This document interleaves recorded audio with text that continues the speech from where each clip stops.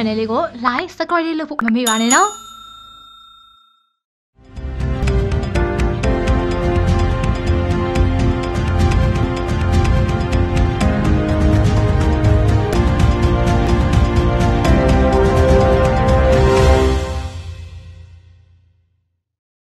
ပရိသတ်များအားလုံးပဲမင်္ဂလာပါရှင်ဒီနေ့အတွက်ပြည်ရင်းသတင်းတွေကိုစတင်တင်ဆက်ပေးပါရမယ်ဒီနေ့တင်ဆက်ပေးခြင်းတဲ့သတင်းတွေကတော့ ပထမဆုံးမြန်မာကိုပိုင်ဂျိုတို့လွတ်တင်နိုင်စီရန်မြန်မာနိုင်ငံလေကြောင်းနဲ့အာကာသပညာတက္ကသိုလ်မှပြင်ဆင်ဆောင်ရွက်နေတဲ့ဆိုတဲ့သတင်း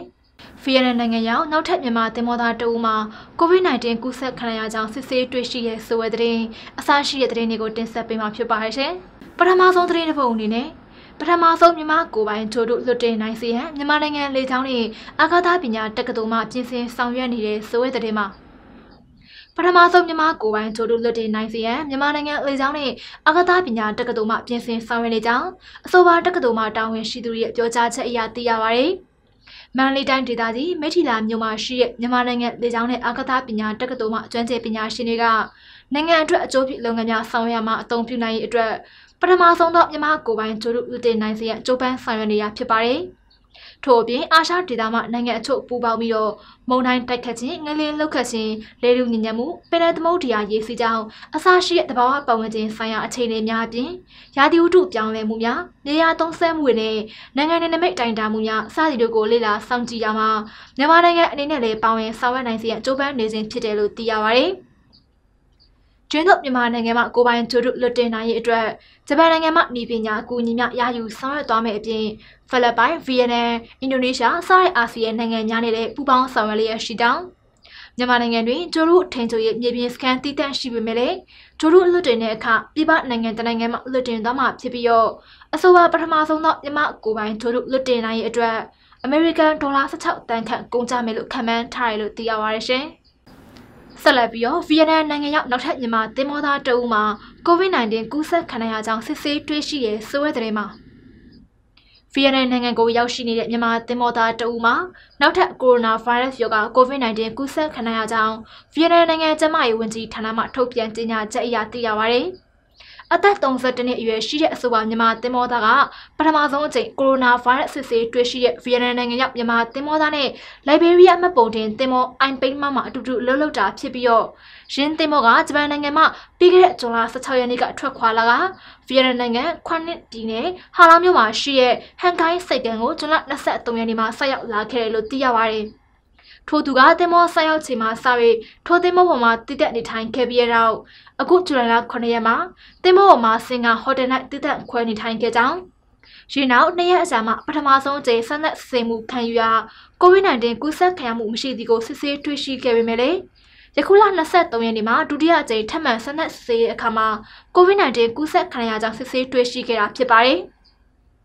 အဆိုပါမြန်မာတင်မောသားကဗီယက်နမ်နိုင်ငံမှာ COVID-19 ကူးစက်ခံလူနာအမှတ်413ဖြစ်သွားပြီးတော့ယခုကဗီယက်နမ်နိုင်ငံဟောင်နိုင်းမြို့တော်မှာရှိတဲ့အထူးရောဂါကိုအထူးဆေးရုံအမှတ်တွေမှာဆေးကုသမှုခံယူနေပြီဖြစ်တယ်လို့သိရပါတယ်။ယခုလက်ရှိဗီယက်နမ်နိုင်ငံမှာ COVID-19 ကူးစက်ခံရတဲ့ active cases လူနာဦးရေ52ဦးခန့်သာရှိပြီးတော့ဗီယက်နမ်က coronavirus ရောဂါ COVID-19 ကြောင့်သေဆုံးသူမရှိသေးတဲ့နိုင်ငံတစ်နိုင်ငံလည်းဖြစ်တယ်လို့သိရပါတယ်ရှင်။ အနောက်နိုင်ငံမှာအမှားအစားများရုံနေလာတဲ့အတွက်အထက်ချုပ်အလို့သမား6သိန်းနီးပါးအလုံးလက်မဲ့ဖြစ်လာနိုင်တဲ့စဝဲတဲ့မှာမြန်မာနိုင်ငံရဲ့အဓိကပို့ကုန်ဖြစ်တဲ့အထက်ချုပ်လုပ်ငန်းက COVID-19 ကြောင့်အနောက်နိုင်ငံမှာအမှားအစားတွေရုံနေသွားတဲ့အတွက်အလို့သမား6သိန်းကအလုံးလက်မဲ့ဖြစ်လာနိုင်တယ်လို့ကုန်တယ်စက်မှုအသင်းချုပ်ရုံးမှဒုတိယဥက္ကဋ္ဌဒေါက်တာမောင်မောင်လေးကပြောပါရယ်။ အထက်ကျောင်းလုပ်ငန်းကိုမိခိုနေတဲ့အလုပ်သမား6သိန်းကျော်ရှိရဲ့အနောက်နိုင်ငံကအခုဆိုရင်အော်ရာကြနေပြီးမှားပြီးသားတွေတော့မယူကြတော့ဘူးဒါကြောင့်ဒီအထက်ကျောင်းလုပ်ငန်းတွေမှာဝင်ရောက်လုပ်ကင်နေကြတဲ့အလုပ်သမားတွေကိုတခြားလုပ်ငန်းခွင်တွေမှာဝင်ရောက်လုပ်ကင်တင်ပါတယ်ဒါကိုနိုင်ငံတော်ကဦးဆောင်ပြီးလုပ်ဖို့တင်ပါတယ်ပြည်내နဲ့အတိုင်းဒေသကြီးအသီးသီးမှာရှိတဲ့ဒေသထွက်အကုန်လုပ်ငန်းတွေမှာဝင်ရောက်လုပ်ကင်ရင်လည်းရပါတယ်တခြားနိုင်ငံတွေရောက်လုပ်နေကြပြီလို့ကုန်တယ်စက်မှုအသင်းချုပ်ရုံးမှဒုဥက္ကဋ္ဌဒေါက်တာမောင်မောင်လေးကပြောပါတယ်။ အိန္ဒိယနိုင်ငံဖြစ်တဲ့စင်ကာပူနိုင်ငံမှာအလုပ်လက်မဲ့အဖြစ်စေဖို့အတွက်ကန်ဒေါ်လာ1ဘီလီယံအသုံးပြု၍အလုပ်သမားတွေကိုအခြားအသက်မွေးကြောင်းတရားရည်များအကုန်ကြခံတင်ပေးလျက်ရှိရလို့သိရပါဗျ။မြန်မာနိုင်ငံမှာတနိုင်ငံလုံးအတိုင်းအတာအနေနဲ့စက်ရုံပေါင်းရာနဲ့ချီရှိနေပြီးတော့အလုပ်သမားဥယျာဉ်မှာလည်း9သိန်းကျော်ရှိနေကရန်ကုန်မှာရှိတဲ့နိုင်ငံသားမှာပင်အလုပ်သမား9သိန်းကျော်ရှိနေရလို့သိရပါဗျ။ ရှင်ပြင်အထက်ချုပ်လုပ်ငန်းကိုမိခိုတဲ့အလုပ်သမားဥယျာဉ်မှာ6သိန်းဖြစ်ပြီးတော့ရဲလုပ်ငန်းရက်တမကအလုပ်သမား6သိန်းအလုပ်လက်မဲ့ဖြစ်သွားနိုင်တယ်လို့သိရပါတယ်။ဒါအပြင်ရရှိမှအလုပ်လက်မဲ့ဥယျာဉ်များပြလာကနိုင်ငံတော်ရဲ့ငင်ဝေပြပြရင်းနဲ့တရားဥပဒေစိုးမိုးရေးကိုထိခိုက်လာနိုင်တယ်လို့လည်းရင်းကဆက်လက်ပြောကြားခဲ့တာဖြစ်ပါတယ်ရှင်။အောင်မင်္ဂလာအဝေးပြေဝင်ရန်ကုန်အခြေပြုရင်လိုင်းများလုပ်ငန်းပုံမှန်လည်ပတ်နေတဲ့ဆိုရဲတဲ့မှာ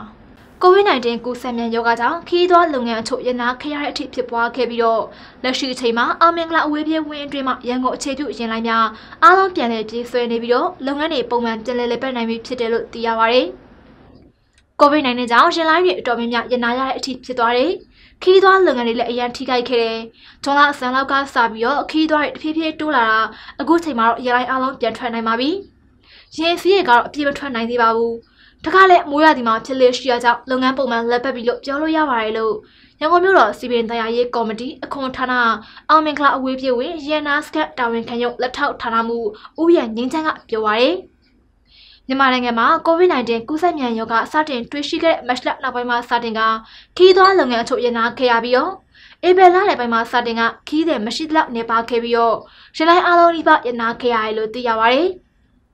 မေလာကုံပိုင်းမှာရင်လိုင်းအချုံမှရင်စီး90ဝန်းကျင်နဲ့ပြန်လည်ပြေးဆွဲလာခဲ့ရလက်ရှိအချိန်မှာရင်လိုင်းအလုံးပြန်လည်ပြေးဆွဲနေပြီးတော့လုပ်ငန်းတွေပုံမှန်လက်ပတ်နေပြီဖြစ်ကြောင်းသိရပါဗျ။ခီးသွားရဲ့တိုးလာတဲ့အညီ COVID-19 ကာကွယ်ရေးလုပ်ငန်းစဉ်တွေကိုပိုရေးစနစ်တကျရှိစေဖို့အတွက်ရင်လိုင်းတာဝန်ရှိသူတွေနဲ့ပူးပေါင်းကပိုးသက်စေချမ်းကျတဲ့ Master စနစ်ကိုအထူးဂရုပြုဆောင်ရွက်နေရလို့သိရပါဗျ။ အောင်မင်္ဂလာအဝေးပြေဝေးရန်ကုန်အခြေပြုရင်လိုင်းပေါင်း200ကျော်မှရေစီး1900ကျော်နဲ့ AR တိုင်းဒေသကြီးမှာအပ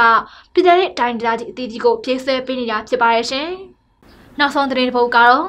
ကုန်းရင်းစိတ်ကံလုကန်ခွင့်ရကုမ္ပဏီမှအစိုးရအားကန်ဒေါ်လာ2တန်းကျော်ပေးရမယ်ဆိုတဲ့သတင်းမှာ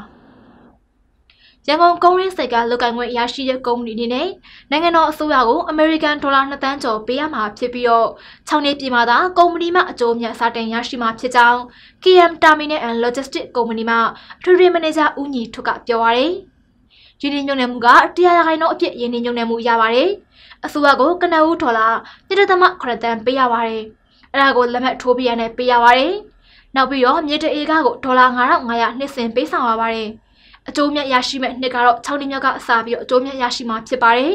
။ငွေပေါ်မူတည်ပြီးတော့အကျိုးမြတ်ကိုခွဲပေးရမှာဖြစ်ပါတယ်။ဒါပြင်ကိုရောင်ဒီမှာပစ္စည်းထားသူတွေအတွက်အစိုးရကိုပေးဆောင်ရမှာဖြစ်ပါတယ်လို့ KM Terminal and Logistics ကုမ္ပဏီမှအထွေထွေမန်နေဂျာဦးညီထွတ်ကပြောပါတယ်။ရန်ကုန်နဲ့မန္တလေးကုန်းတွင်းစိတ်ကမ်းညနေညွှန်နယ်မှုမှာကန်ဒေါ်လာ55တန်းဖြစ်ပြီးတော့ရန်ကုန်စိတ်ကမ်းမှာတန်း40နဲ့မန္တလေးစိတ်ကမ်းမှာ15တန်းဖြစ်တယ်လို့သိရပါတယ်။ ရင်းကုမ္ပဏီနဲ့250 POD လုတ်ကန်ခွင့်ရရှိပြီးအစိုးရမှခွင့်ပြုမည်ဆိုပါကစိတ်နဲ့စီတတန်းတိုးခွင့်ရမှာဖြစ်ပါတယ်။လက်ရှိမှာကုန်းနဲ့စိတ်ကမှာစနေစနေနေ့အပတ်တိုင်းမှာတစည်းပုံမှန်ထွက်ပြီးရင်းပြင်ကုန်းတင်ခအနေဖြစ်နေလေမြမမြေထားမှာကောက်ခဲ့တဲ့နှုံထားတိုင်းဖြစ်ပြီးတော့